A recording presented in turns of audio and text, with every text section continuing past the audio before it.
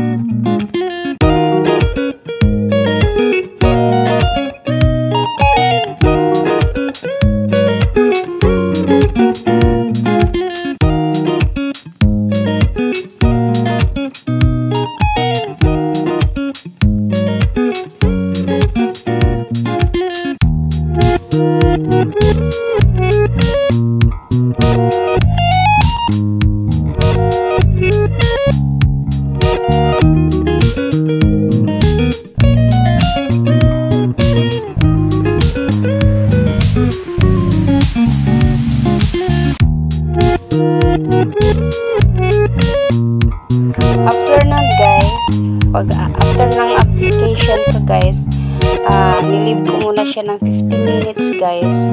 Matapos kinomtro comtro ko guys para uh, yung mga na, naka-bleach na buhok malagyan din siya ng smoothing cream. Uh, at yun na yun ang makapag pakinis sa hair niya guys na ay yung mga excess ng gamot yan ang ilalagay sa sa ends ng hair niya. Kaya ayan guys. Pagkatapos guys 15 minutes dinilip ko din siya ng 5 minutes yung buhok niya naka-bleach pagkatapos binanlawan ko siya guys. Ayan na guys pinapatuloy ko na siya guys. Dahil ang ginamit kong ginamit kong hit ng lower guys is ano lang, medium lang. Hindi lang siya masyadong mainit para iwasan na. Hindi mainitan yung buhok na iwasan na hindi siya ma lalo siyang masisira. Kaya yan guys napansin nyo guys na okay naman siya guys na hindi siya nag-brittle. Ayan, pinapatuyo ko yan ng 100% at saka ko siya pina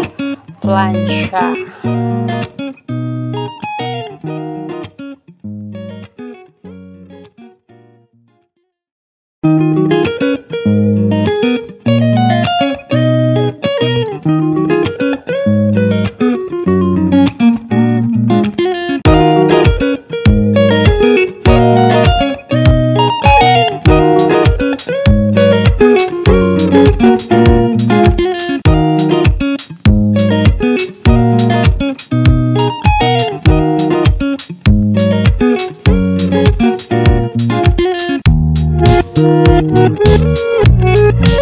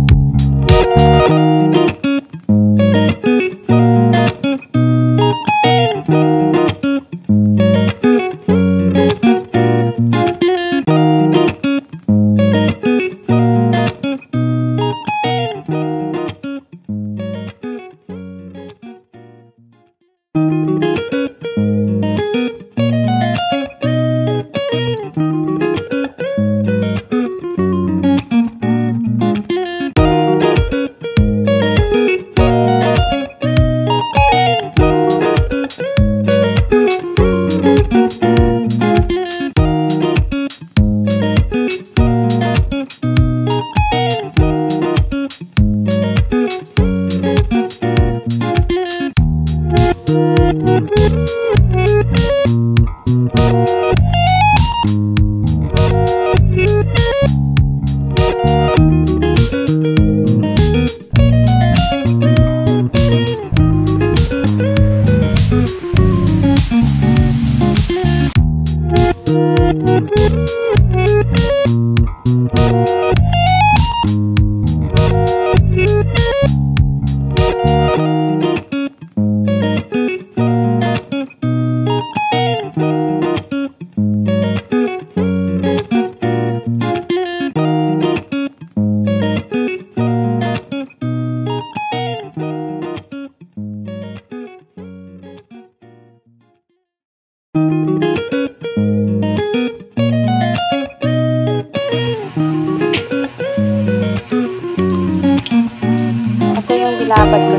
Guys after na-applyan ko siya ng gamot guys. Contro na ito. Pagkatapos guys, pinisprayan ko na siya ng tubig para mabawas-bawasan yung tapang ng gamot guys. Ayan na guys yung nakalip siya guys ng 15 to 30, 20 minutes guys. Ayan na guys ang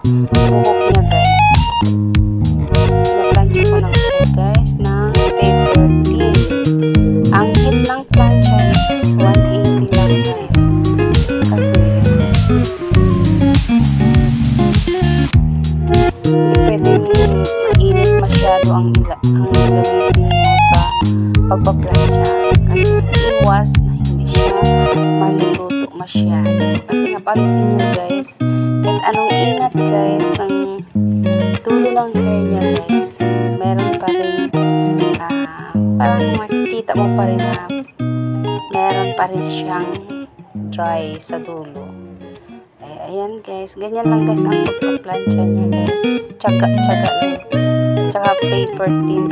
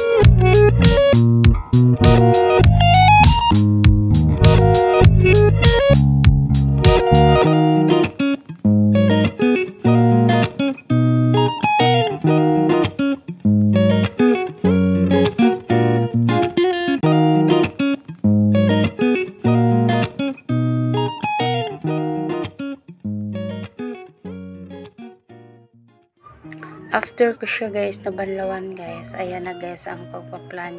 Pagpatuyo ko guys, patuyo lang siya ng ah, medium lang ang heat ng ah, blower. Tapos, paplansyahin siya guys ng paper tin na gamit lamang ang heat ng plancha is 180 Ah, 180 ang heat lang niya guys. At saka tingnan nyo guys yung pagpaplansya ko guys. Doon ako nakapokus sa pinaka roots yung black hair. At saka da- daan-daanan ko na lang dyan yung guys yung ends ng hair niya guys. Kaya guys. Hanggang sa matapos siya guys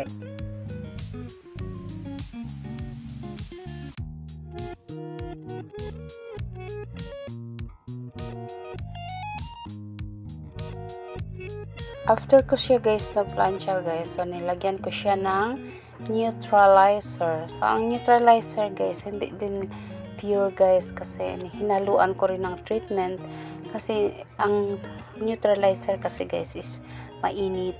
Pag nalagyan na siya ng mainit ang buhok, mm, ano, may tendency talaga siya nagbe-brittle. Ah, binabad ko lang din siya guys ng 15 minutes, hindi ko pinatagal guys sa buhok niya guys kasi iwasan nga kasi napaka-sensitive guys. Kasi dalawang beses na ito na bleach guys. Kasi siya at ang kanyang asawa lamang ang gumawa sa buhok niya. Sila-sila lang guys. Kaya napansin nyo guys na walang color ang buhok niya. Hindi ko kasi kinulayan. Ah, after 15 minutes binanlawan ko guys. Hindi ko na pinakita guys, guys lahat yung procedure ng pag ano ko guys. Kasi sobrang haba na yung video ko guys. Kaya ayan guys ang result ng kanyang buhok niya guys. Since na may damage talaga guys di maiwasan may damage talaga yung dulo guys. Kaya pinutulan ko na lang siya guys. Pero at least guys makintab pa rin siya guys. Kahit hindi naman siya masyado ano yung kulay niya guys taas guys. Pero kaya